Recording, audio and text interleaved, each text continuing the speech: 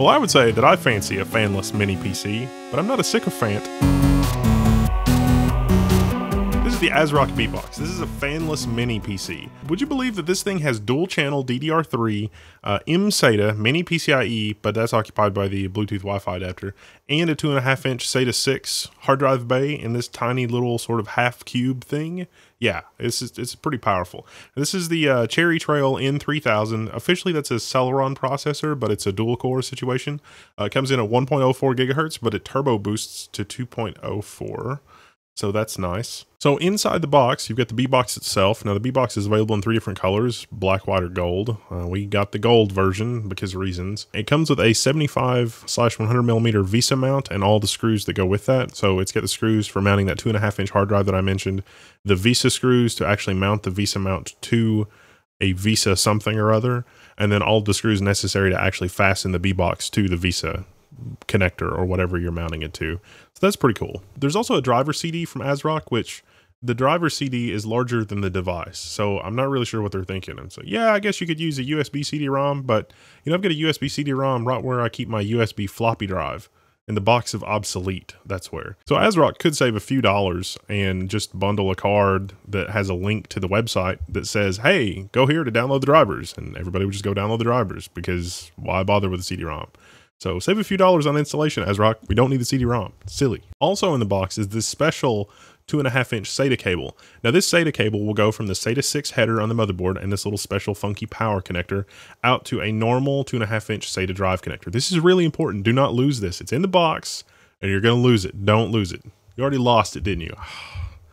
Man, you just you got one of these and you took it out and it's like, oh, the cable's gone. What we're going to do is we're going to actually store it inside the box. It's fine. I'm sure that ASRock did not put it in the box because they didn't want a cable rattling around, especially during shipping. But uh, go ahead and install it. It doesn't matter. Even if you're not going to use a two and a half inch drive, just go ahead and put the cable in there because if you lose the cable, it'll be terribly inconvenient in the future. So go ahead and even if you don't plan to use a two and a half inch drive now, just go ahead, take it apart, Put the two and a half inch cable on the inside. You can go ahead and hook up the headers. It's completely fine. It's not going to hurt anything to have that rattling around. There's no fan, so it's not like it's going to get caught in the fan. So let's take a look at the back. At the back, it's got a Realtek Gigabit Ethernet adapter, two HDMI ports, one display port, two USB 3 uh, connections, and the power socket for the 35 watt power brick. At the front is a standard USB 3 port, and then you've got the USB 3 Type C connector. That's the reversible USB connector, so you don't have the problem of the USB superposition, where no matter which way you plug it in to begin with, it's wrong. Uh, you don't have that with USB C because it's reversible. So the other USB 3 port on the front is USB C. USB 3C also supports a high wattage adapters, so you can do quick charging with your phone um, through the USB 3 C adapter. Even if you've got a legacy phone, you can get a cable that's USB 3C on one end and then the micro USB on the other and use that to rapidly charge your phone. It's pretty convenient. Depending on how you use the machine and where you've got it set up, that could be a really big feature for you. At the front, there's also a headphone jack, just a normal old three and a half millimeter headphone jack, which is a nice touch. So let's pop the cherry trail and see what's under the hood here. So four Phillips screws secured to the bottom. Uh, I'm just going to unscrew this real quick. Taking it out, we can see that the, this is the mount for the two and a half inch drive. This is actually mounted to the bottom. It's got nice rubber grommets so that if you put a mechanical hard drive in here, that is going to be the only moving part in the system. That's going to dampen the sound by having the little rubber standoffs for the drive. If you're going to put an SSD in here, then no big deal. On hand, we happen to have this Samsung SSHD, which is a mechanical hybrid drive. It's a mechanical drive backed with a little bit of flash. Uh, you get a little bit of the performance of a flash drive, but the massive 500 gigabytes of storage in a mechanical drive for low, low, low, low prices. Uh, for mechanical hard drives in the two and a half inch form factor, they do make those up to four terabytes now. So you could get a four terabyte two and a half inch drive and put in here if you wanted to. That's going to be a mechanical drive, of course, unless you're watching this video in the future and they have four terabyte SSDs, in which case please send one to the past to me because I could really use one. Under the hood, we've also got two DIMM slots instead of one. This has been a problem for these small form factor machines. Everybody seems to want to put one DIMM slot. You don't get dual channel, you don't get the maximum performance of the platform. You know, with the previous generation Intel NUC, you know, those were i3, i5, i7 components and you were paying i3, i5, and i7 prices for those, even though the hardware platform was such that you couldn't really take full advantage of especially the performance of an, like an i5 and an i7. I mean, they had they had a fan and they could do cooling, and the platform was just kind of limited. I mean, it was cool for what it was, but single channel was one of the big limitations of that platform. Well, ASRock has done away with this. This platform is dual channel.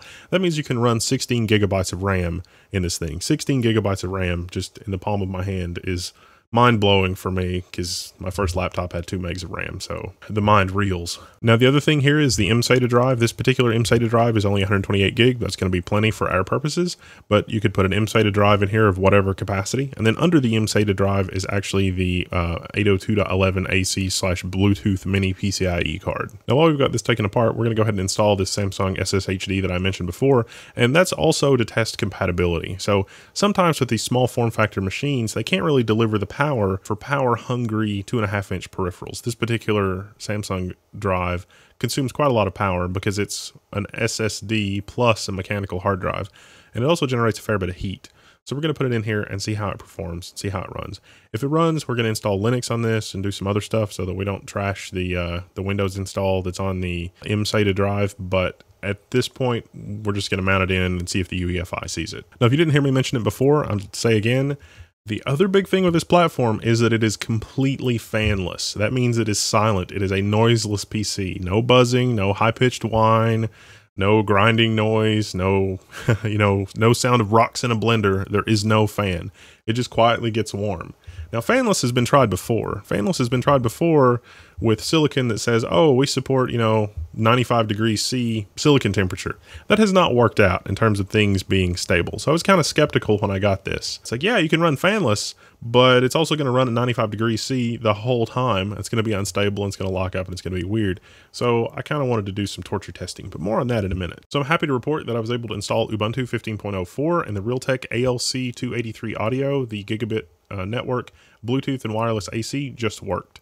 Um, I didn't test the infrared remote, but I would be surprised if it doesn't work, although you may have to set up an LIRC uh, command file. So that may not work perfectly out of the box, but if this platform becomes popular, I don't think you're going to have any trouble finding a multimedia distribution like Kodi or Mythbuntu to be able to run on this. There are other cool open source platforms that you could run on this too.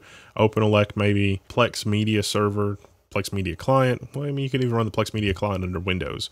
The handy thing about this platform is that it's flexible. Unlike a Raspberry Pi, where you're going to run Linux or you're going to run one of these specialty distributions of Linux that, that does that, this will actually let you run anything that runs on x86. So if you are more comfortable having a home theater PC that runs Windows, you could totally have a home theater PC that runs Windows. Of course, if you want to run Linux, you can run Linux too. So after messing around with this platform, this platform is great. I was sure that heat was going to kill it, so I tried to kill it.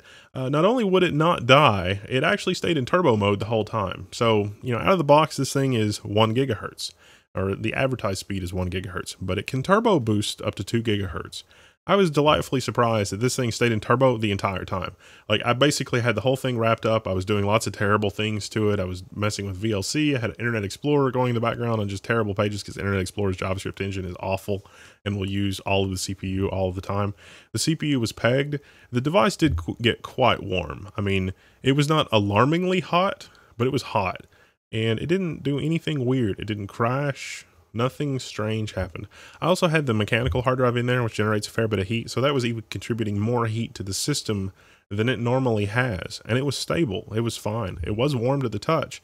The heatsink is joined mechanically to the top of the case, and so it sort of radiates heat from the, the very top of the device.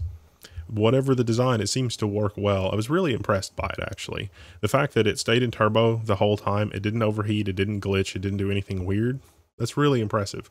If that holds up for five years, this is going to be a great. I mean, you just sort of buy it, sit it in the living room, and forget about it. If you want a quiet PC in the living room or you want a quiet PC in the bedroom, you know, maybe you're like me and you're on call 24 hours a day, and sometimes you got to go roll out of bed and see what went down and try to fix it.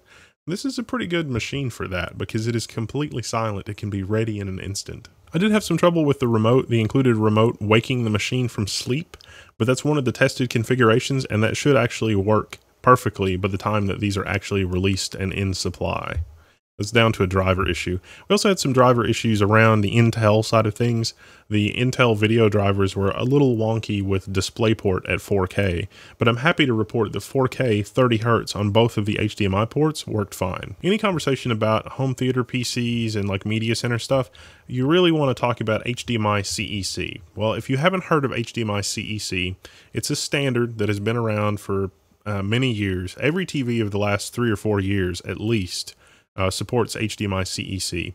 What this standard is, is that the fancy remote that comes with your television that has, you know, an arrow pad and a menu button and all this stuff, those commands that you hit on the remote will actually pass through the HDMI cable to whatever device you've got hooked up. So if you've got a Blu-ray player or, you know, an audio center or something that's connected through HDMI, your television remote can actually send commands to those devices. This is one of the great things about the Raspberry Pi. This is one of the reasons it's been really popular as a media center because it's supported HDMI CEC from day one. I mean, the original, the very original, the Model T of Raspberry Pis uh, supported HDMI CEC and it worked brilliantly. And that was kind of a new feature on televisions at the time. There's a lot of other devices out there that support HDMI CEC. Intel, and their infinite arrogance, of course, still does not support HDMI CEC. So what that means is that you have to use the, the included remote with the ASRock Beebox in order to remotely control it. It means your television remote is not going to work. I don't think this is fixable in software. In the first generation NUC, it was not fixable in software. There's actually a company called Pulse 8, uh, and Pulse 8 uh, makes an adapter for the old Intel NUCs that will give you HDMI CEC.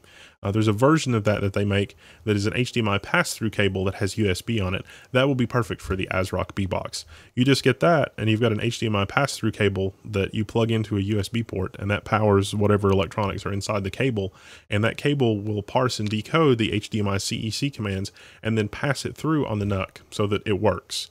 Uh, it's a $30 cable which kind of kind of stings a little bit, but it'll give you HDMI CEC functionality on Windows or Linux or whatever your platform is, so that you don't actually have to use more than one remote. Of course, you can also just use the remote that came with the Beebox. That's completely an option. I just thought it was worth pointing out because it is really silly that Intel in this day and age, it's like, oh, we're going to make consumer electronics and stuff for people's living rooms and that kind of thing. All right, that sounds good. Why don't you support the standards? We also did some testing with 4K video, uh, 4K video at 30 hertz uh, only. It actually worked really well. Uh, you may recall from our testing the you know the Dell XPS 13, we had some trouble with 4K video playback even on the Dell XPS 13.